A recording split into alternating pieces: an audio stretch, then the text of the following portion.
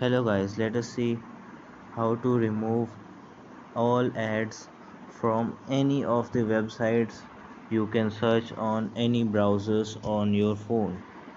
So let us first see how it goes. Just like I open Y2Mate, it's a site to download YouTube videos on your gallery so let us see. Just like I will search talk just like wait for some time. And you will get to yeah. And now here starts the ads time.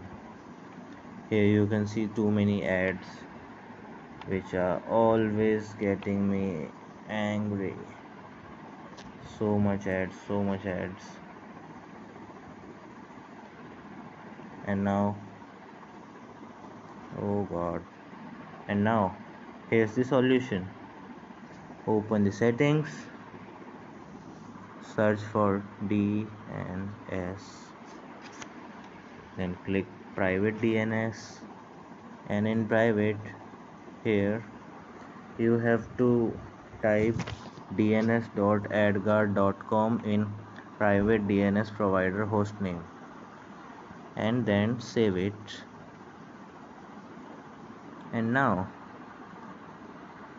you will not get any ads at any time in any of your websites on your phone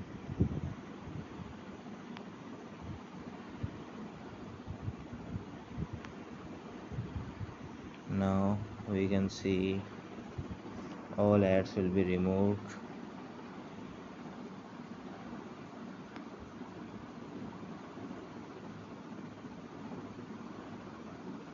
For your convenience we have we will just wait to have any pop-up left. And done. You can see there's no any ads which are interfering me and you and anybody. And just now I can go and boom. My work is done. Boom. So that's all for today guys. Thanks for watching and have a nice day